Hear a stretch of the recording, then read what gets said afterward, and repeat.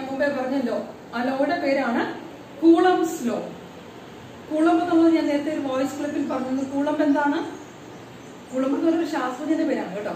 പക്ഷെ ഈ കൂളംബ് നമ്മൾ ചാർജിന്റെ യൂണിറ്റ് ആയിട്ട് ഉപയോഗിക്കും. അദ്ദേഹത്തിന് ആദരവ് കൊടുക്കാൻ വേണ്ടിയിട്ട് അദ്ദേഹത്തിന്റെ പേരിൽ നിന്ന് തന്നെയാണ് നമ്മൾ ചാർജിന്റെ യൂണിറ്റ് കൊടുത്തിരിക്കുന്നത്. കൂളംബ് എന്ന് പറയുന്നത് ചാർജിന്റെ എസ് ഐ യൂണിറ്റ് ആണ്. ചാർജ് നമ്മൾ അളക്കുന്നത് ഈ യൂണിറ്റിലാണ് അപ്പോൾ കുളമ്പ് ആവിഷ്കരിച്ച അല്ലെങ്കിൽ കണ്ടെത്തിയ നിയമമായിരുന്നു നമ്മുടെ കുളംസ് ലോ എന്ന് പറയും.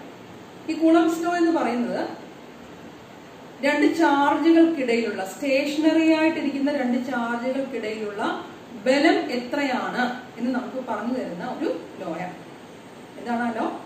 സ്റ്റേഷനറി ആയിട്ട് നമ്മൾ രണ്ട് ചാർജ് രണ്ട് ചാർജുകൾ എടുത്ത് സ്ഥലത്ത് വെച്ചിരിക്കുന്നു വിചാരിക്കാം? രണ്ട് ചാർജ് അങ്ങനെ എടുത്ത് വെക്കാൻ പറ്റിയില്ല കേട്ടോ. എന്നാലും suppose the bear got two charges kept at a distance കുറച്ച് അകലത്തിൽ രണ്ട് ചാർജുകൾ നമ്മളിങ്ങനെ വെച്ചിരിക്കുന്നു എന്ന് വിചാരിക്കാം. ഈ ചാർജുകൾക്കിടയിൽ എത്ര ബലമുണ്ട് എന്ന് അദ്ദേഹമാണ് കണ്ടുപിടിച്ചത്. അപ്പൊ അതൊന്ന് ആ ലോയെ നമ്മൾ എന്താ പറയുന്നത് കുളംസ് അദ്ദേഹം കണ്ടെത്തിയതാണ് ക്യൂ വൺ ക്യൂ ടു എന്ന് പറയുന്ന രണ്ട് ചാർജുകൾ ആർ എന്ന അകലത്തിൽ നമ്മൾ വെച്ചിരിക്കുന്നു വിചാരിക്കും. ക്യൂ വൺ എന്ന് പറഞ്ഞ ചാർജ് ക്യൂ ടു എന്ന് പറഞ്ഞ മറ്റൊരു ചാർജ് ആർ അകലത്തിൽ നമ്മൾ വെച്ചിരിക്കുന്നു. അങ്ങനെയാണെങ്കിൽ തീർച്ചയായിട്ടും ഇവർക്കിടയിൽ ഒരു ബലം ഉണ്ടാകും അല്ലെ? നമ്മൾ പറഞ്ഞല്ലോ ഒരു ബലം ഉണ്ടാവും. ഈ ബലം ഈ രണ്ട് ചാർജ് ഒരുപോലത്തെ ആണെങ്കിൽ ആ ബലം എങ്ങനത്തെ ആയിരിക്കും വികർഷണ ബലമായിരിക്കും ഓപ്പോസിറ്റ് ആണെങ്കിലോ ആകർഷണ ബലമായിരിക്കും എങ്ങനെയാണെങ്കിലും ഒരു ബലം ഉണ്ടാവും. ആ ബലം എന്ന് പറയുന്നത് ഈ ചാർജുകളുടെ ഗുണനഫലം പ്രോഡക്റ്റിന് ഗുണനഫലം പ്രോഡക്റ്റിന് ഡയറക്ട്ലി പ്രൊപ്പോർഷണൽ ആയിരിക്കും. ഗുണം എന്താ കണ്ടെത്തിയത്?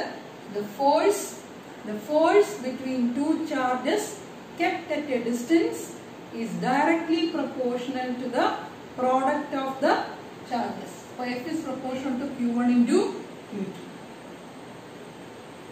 also അദ്ദേഹം കണ്ടെത്തിയ എന്താണ്? ഈ ചാർജുകൾ അകത്തി കൊണ്ടുപോകും തോറും ഈ ബലം കുറയുന്നതാണ്. അകന്നു അകന്നു പോകുമ്പോൾ ഈ ബലം കുറയുന്നതായിട്ട് കണ്ടു. അപ്പൊ അദ്ദേഹം സ്റ്റഡീസിലൂടെ കണ്ടെത്തിയ എന്താണ്? The force is inversely proportional to directly അല്ല inversely proportional to square of the distance between them so the force between two charges is inversely proportional to വെറും ഡിസ്റ്റൻസ് ആണോ? അല്ല.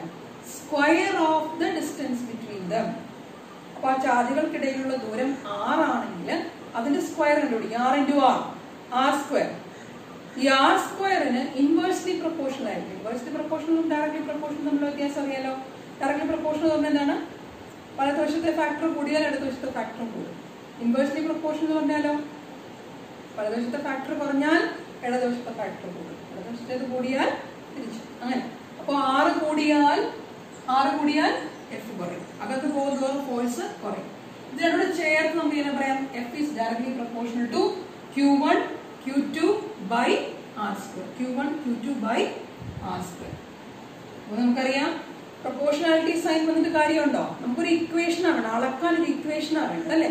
അപ്പൊ ഇക്വേഷൻ വേണമെങ്കിൽ അവിടെ എന്ത് ചെയ്യണം? ഈ പ്രൊപ്പോർഷണൽ പ്രൊപ്പോർഷണാലിറ്റി സൈൻ ഒക്കെ മാറ്റി ഒരു ഇക്വേഷൻ ആയിട്ട് മാറും. ഇക്വേഷൻ ആക്കണമെങ്കിൽ നമുക്ക് ഒരു കോൺസ്റ്റന്റ് വേണം അല്ലെ? അപ്പൊ ആ കോൺസ്റ്റന്റ് അദ്ദേഹം കണ്ടെത്തിയിട്ടുണ്ട്.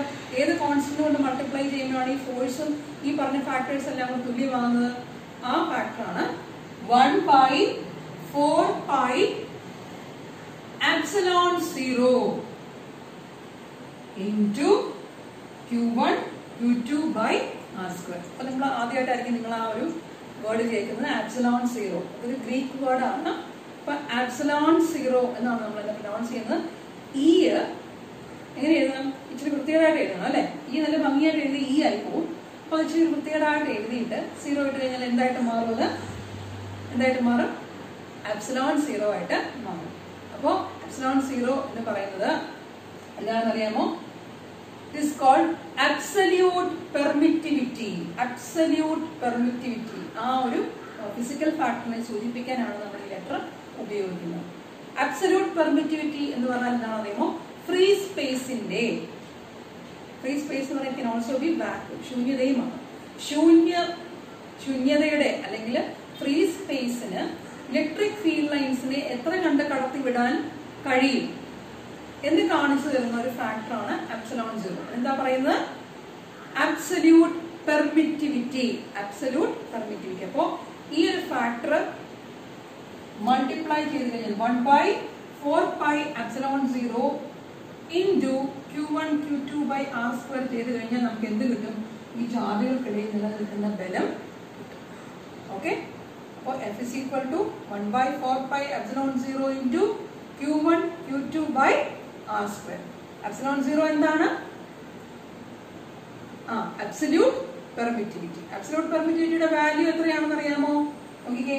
Eight point eight five into ten raise to minus twelve per newton coulomb square per metre square അപ്പോ അബ്സല്യൂട്ട് പെർമിറ്റിവിറ്റിയുടെ വാല്യൂ കണ്ടുപിടിച്ച് വെച്ചിട്ടുണ്ട്. നമുക്ക് ഇതൊക്കെ പഠിച്ചാൽ മതി. ഇതൊക്കെ എടുക്കാനായിട്ടുള്ള ആൾക്കാർ കണ്ടുപിടിച്ച് വെച്ചു അല്ലേ? അത് പഠിക്കുന്നതിന് വലിയ പ്രയാസം തോന്നരുത്. വളരെ ഇമ്പോർട്ടന്റ് ആയിട്ടുള്ള ലോ ആണ്. ആദ്യം പഠിക്കുന്ന ലോ ആണ്. ഫിസിക്സിനകത്ത് ഈ വർഷം ഫസ്റ്റ് പഠിക്കുന്ന ലോ ആണ്. ഇതാണ് കുളംസ് ലോ ഓക്കെ ഇനി നോക്കിക്കേ. ഈ one by four by epsilon zero calculate ചെയ്ത് നോക്കിക്കഴിഞ്ഞാലോ?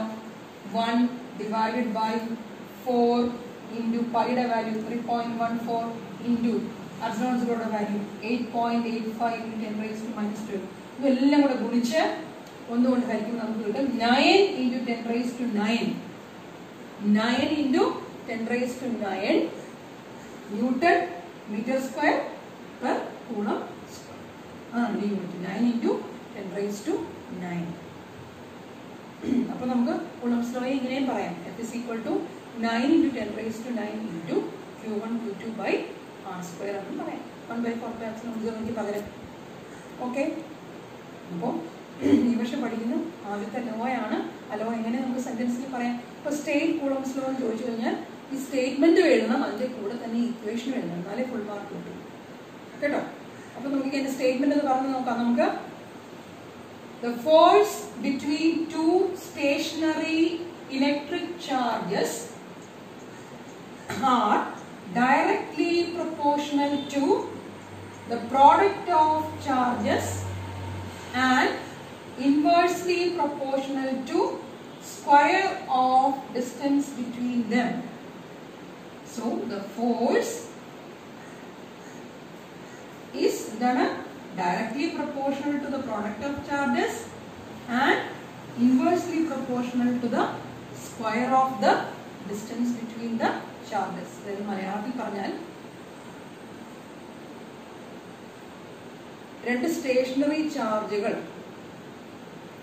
ആർ എന്ന നിശ്ചിത അകലത്തിൽ വെച്ചിരിക്കുന്ന രണ്ട് സ്റ്റേഷനറി ചാർജുകൾക്കിടയിലുള്ള ഇലക്ട്രിക് ബലം എന്ന് പറയുന്നത് ഈ ചാർജുകളുടെ ഗുണനഫലത്തിന് നേരനുപാതത്തിലും ഈ ചാർജുകൾക്കിടയിലുള്ള ദൂരത്തിന്റെ സ്ക്വയറിന് വിപരീത അനുപാതത്തിലും ആയിരിക്കും. പോസ് ചെയ്തിട്ട് എഴുതിയെടുത്ത് പഠിച്ചാലും മതി. കഴിഞ്ഞത് ഇംഗ്ലീഷ് പഠിക്കാൻ നോക്ക്. ആ, എളുപ്പമാണ് കോൺസെപ്റ്റ് മനസ്സിലായില്ലെങ്കിൽ ചോദിക്കും. കേട്ടോ? അപ്പോൾ ഇന്ന് ഇത്രയുമാണ് നമ്മൾ പഠിക്കുന്നത്. നന്നായി പഠിച്ച ശേഷം ഫീഡ്ബാക്ക്